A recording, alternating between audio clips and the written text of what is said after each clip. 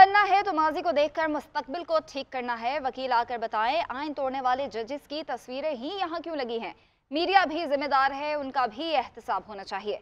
Chief justice के Pervez Musharraf case में remarks कहा कि क्या कहीं ज़िक्र है कि खसूसी अदालत का फैसला कलदम करार दिया जाता है? ऐसा नहीं तो फिर खसूसी अदालत का फैसला ऑन फ़ील्ड ही क्यों है? जस्टिस अतर मिनल्ला ने रिमार्क्स दिए कि मुशर्रफ के मार्शल लॉ को कानूनी कहने वाले जजेस का भी ट्रायल होना चाहिए। कार्रवाई सिर्फ़ तीन नवंबर के इकदाम पर क्यों की गई? तीन नवंबर के सिर्फ़ जजों पर हमला होने पर कार्रवाई होगी तो फेयर ट्रायल का सवाल उठेगा। तारीख फिर यह है कि जब कोई मज़बूत होता है तो उसके खिलाफ कोई नहीं बोलता। जब ताकतवर कमज़ोर पड़ जाता है तो उसके बाद आसिमा जिलानी वाला फैसला आ जाता है। जस्टिस मंसूर अली शाह ने रिमार्क दिए, क्या लाहौर हाई कोर्ट में विफाकी हुकूमत ने एतराज़ किया था या सेम पेज पर थी? अगर आइन गजब हो जाए तो फिर अदालत उन्नीस सौ छप्पन तक भी जा सकती है।